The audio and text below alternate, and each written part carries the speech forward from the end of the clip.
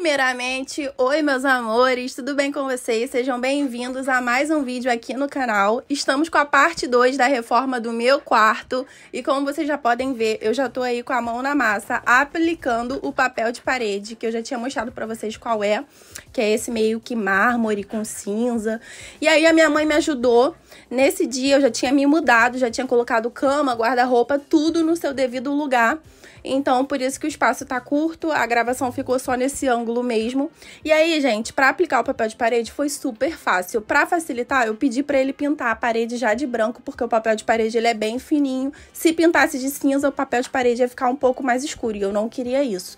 Então, já fui aplicando, minha mãe foi me ajudando ali, cortando o tamanho do papel.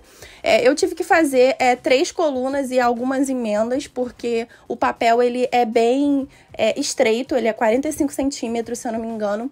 E aí, gente, foi super fácil. Eu fui alisando mesmo com a mão, foi colando de primeira. E aí vocês podem até ver uma diferença entre um e outro. Eu fui puxando a folha de baixo e passando a mão por cima. Foi super fácil, não deu bolha. Ele é um papel de parede um pouco texturizado. Então, se der uma bolinha, se acontecer alguma coisa, não fica aparecendo. Então, assim, ficou um acabamento impecável pelo valor que eu paguei. Eu super recomendo esse papel de parede. E eu amei as cores. Achei que super combinou com o quarto. E é isso, gente. Vamos para a continuação desse vídeo. Música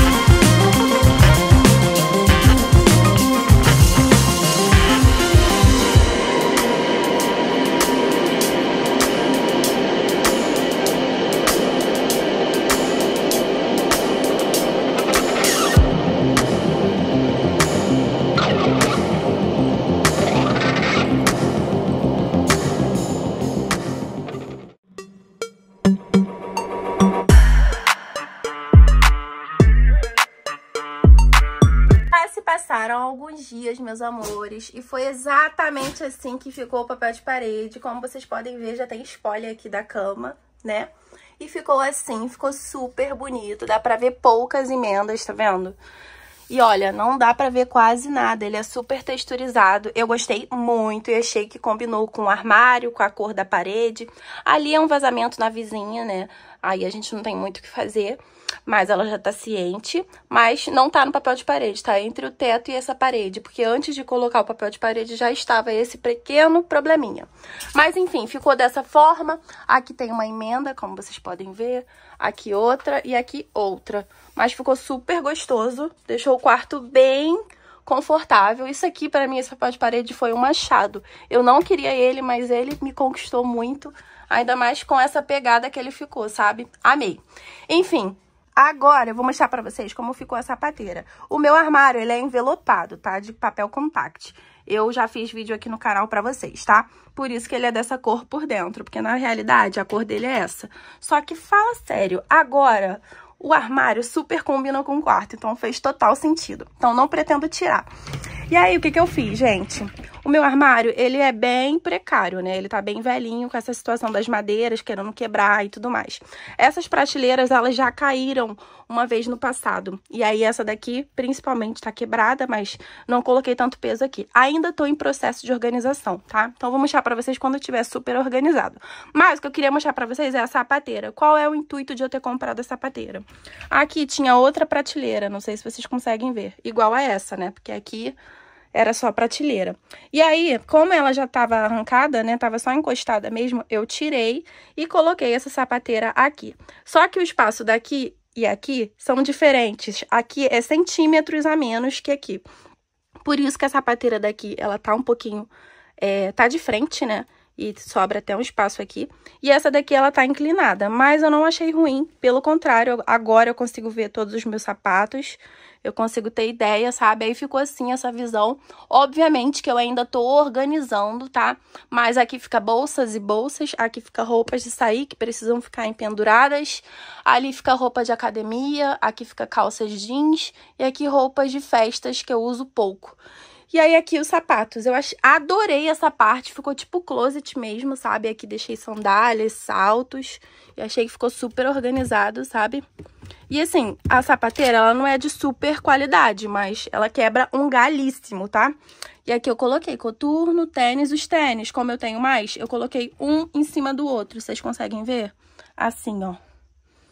Na verdade, isso aqui tá errado. Eu coloco assim, porque ocupa menos espaço e cabe mais sapatos, sabe? E aqui é um saquinho de meias, que eu já deixei aqui pra facilitar. Mas assim eu consigo ver todos os meus sapatos. Então fica a dica aí, se você tem pouco espaço e quer deixar os seus sapatos mais aparentes.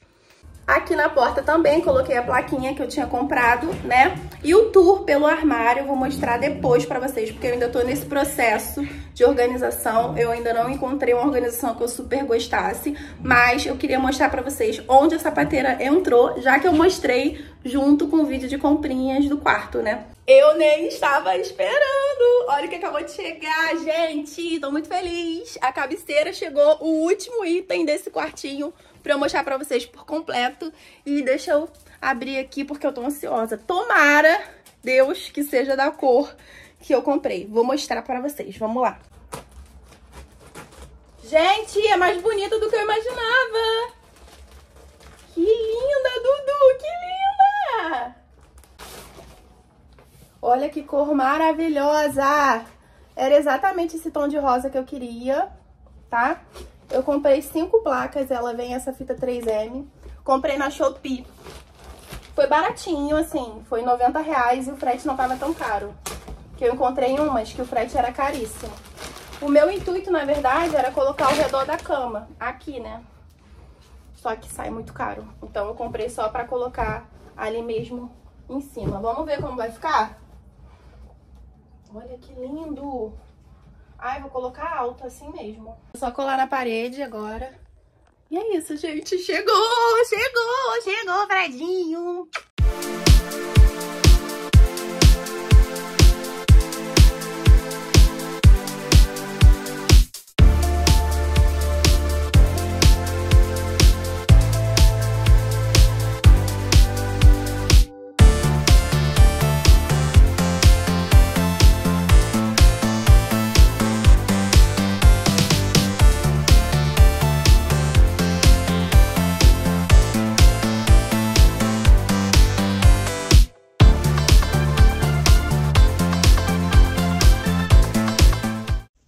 Foi assim, meus amores, que ficou a cabeceira. Aquela placa ali, ela não é mais escura. É porque essa cabeceira, dependendo do ângulo, ela fica um pouco escura, tá vendo?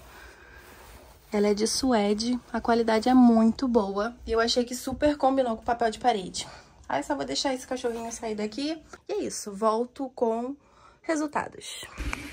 E fiquem agora com o resultado do meu quarto. Thank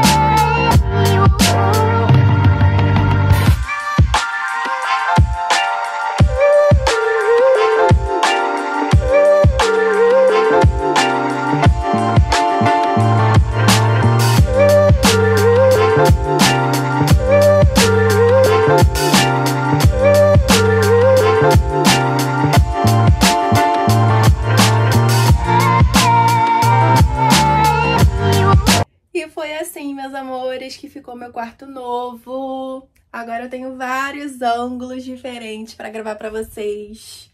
E eu amei tudo, todos os detalhes, a decoração, tudo combinou, tudo casou perfeitamente. E tá nas paletas que eu gosto. Não era esse planejamento que eu queria fazer e ficou muito melhor do que eu imaginava, né? Obviamente, os planos de Deus são muito melhores que os nossos. E cada detalhe daqui me deixa confortável, me deixa sabe, feliz. E todos os dias eu durmo nesse quarto feliz e contente de tudo como aconteceu, sabe? Aconteceu de uma forma que eu não esperava, mas ficou tão perfeito, tão lindo, que eu não tiraria nada do lugar. Deixaria exatamente como tá. Se tivesse planejado, não teria saído tão perfeito como ficou. Então eu tô muito, muito, muito feliz. É, demorei muito fazer esse quarto, mas como eu disse, foi no tempo que Deus quis. E é isso, meus amores. Eu espero muito que vocês tenham gostado desse vídeo. Desculpa a demora desde então, mas eu precisava mostrar pra vocês tudo pronto. É, cada detalhe aqui desse quarto tem um pouquinho de mim. Então, assim, eu tô muito confortável aqui e muito feliz de compartilhar isso novamente com vocês aqui na minha rede, no meu canal do YouTube, que eu sempre amo, que eu sempre compartilhei todas as reformas. É isso, meus amores. Se você gostou desse vídeo, deixa o seu like. Não se esqueça de comentar aqui embaixo se você gostou do meu quarto. E é isso, vamos que vamos para uma nova fase. Um enorme beijo, fiquem com Deus e até o próximo vídeo. Tchau!